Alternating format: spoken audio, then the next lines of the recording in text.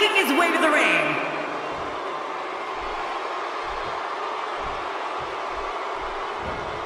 The bell is rung and Baron Corbin is on the prowl. Yeah, this is a marquee match with a lot of pride and professional reputation, all on the line.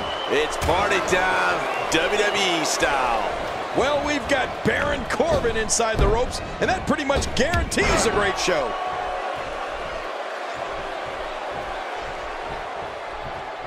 Those shots to the body are beginning to take their toll. Okay, guys, I wanted to talk a little bit about Baron Corbin here. So you really think he can unseat the champion here? Baron Corbin challenges for the title here, and he's anxious to show he's ready for the big stage. And by big stage, I mean the stage where he's the champion wearing the crown. We'll see if he's up to the task. He's come a long way, and he stands on fate's doorstep, hoping he can walk through the door. We'll see if he can get it done here tonight.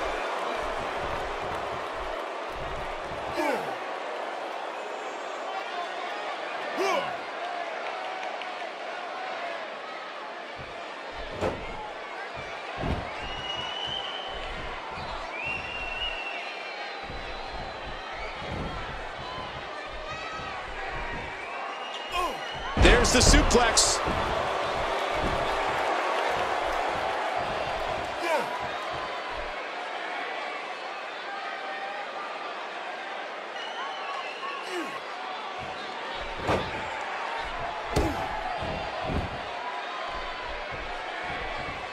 The champ's absorbing some offense here.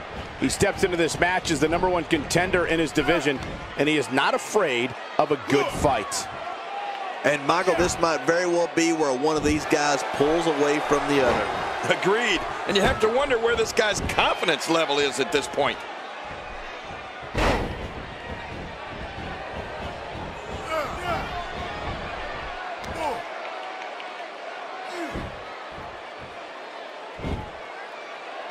He has to be extra careful here. An injured shoulder can come right out of the socket. Oh, I've seen that before, and it's not pretty.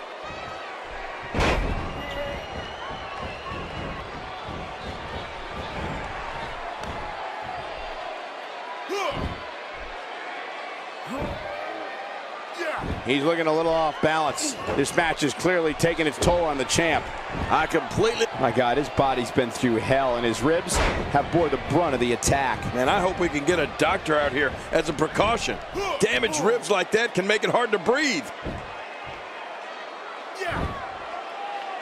He's delivering an old-fashioned butt kicking right here.